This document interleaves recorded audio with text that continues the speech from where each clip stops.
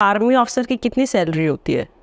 पता नहीं मैम। मुझे this is a wrong question मुझे बिल्कुल नहीं मालूम है। हाँ। मेरे को जनरल मालूम है कि जब मैं सीईओ था एज अ कर्नल मेरे को दो और सवा दो लाख के बीच में मिलती थी पर बेसिक पे कितनी है और मेरा अलाउंस कितना है ये मुझे नहीं मालूम है। अलाउंसेस मुझे स्पेशल फोर्सेज में मेरे ख्याल से कर्नल को ट्वेंटी फाइव थाउज़ेंड है। अब बढ़ गया हो तो मुझे मालूम नहीं अगर आप सी आई सी टी में काउंटर टेररिस्ट ऑपरेशन में डिप्लॉयड है तो पीपल से now people are getting quite a bit of allowance आए मेरे को अपनी बेसिक पे याद नहीं मेरे को टोटल मालूम है कि दो सवा दो आता था उसमें पचास हज़ार टैक्स कट जाता था ये मुझे पक्का है मालूम है।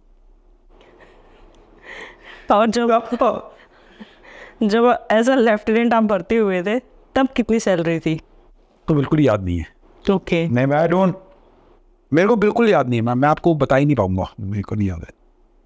आफ्टर या ये मुझे मालूम है जी कि जब हम एकेडमी में थे तो हमें पर मंथ मेरे ख्याल से सात हज़ार का स्टाइपेंड मिलता था। जब हम पहली टर्म ब्रेक छुट्टी में गए तो हमें आ रहे पाँच छः महीने के कुछ चालीस हज़ार आए। तो हम लोग कोर्समेट्स तब एक कोडैक क्लिक क्लिक कैमरा आता था हज़ार रुपए का। वो सारों ने खरीदा। फ़ोटो एक उसमें वो रील लोड होकर ना तो वो कैमरा ही अब तो कैमराज ही एक्सटिंक्ट हो गए बिकॉज़ मोबाइल में ही कैमरा आ गया। आई एम टॉकिंग ऑफ़ 2001 तो पूरे कोर्स ने खरीद लिया। तो सबने खरीदा मॉल में जाकर। सो सात हज़ार स्टाइपेंड मिलता था। आर्मी एज अ पे तब जो फ़र्स्ट स्पेशल फोर्सेज अलाउंस था that was twenty one hundred rupees extra मिलते थे हमें। और जो नॉर्मल पैरा ट्रूपर्स होते थे, उनको छः सौ निन्यानवे रुपये जंप करने। के बाकी मुझे नहीं याद एक जो सवाल बहुत लोग पूछते हैं कि जो अग्निवीर आ रहे हैं क्या वो एस एफ़ ज्वाइन कर सकते हैं? Yes. Agniveer can join S F and जब उनकी भर्ती होती है, तभी वो वहाँ से वॉल्टियर करते हैं।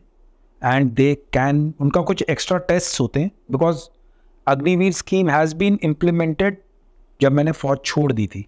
तो मेरे को तो the quality of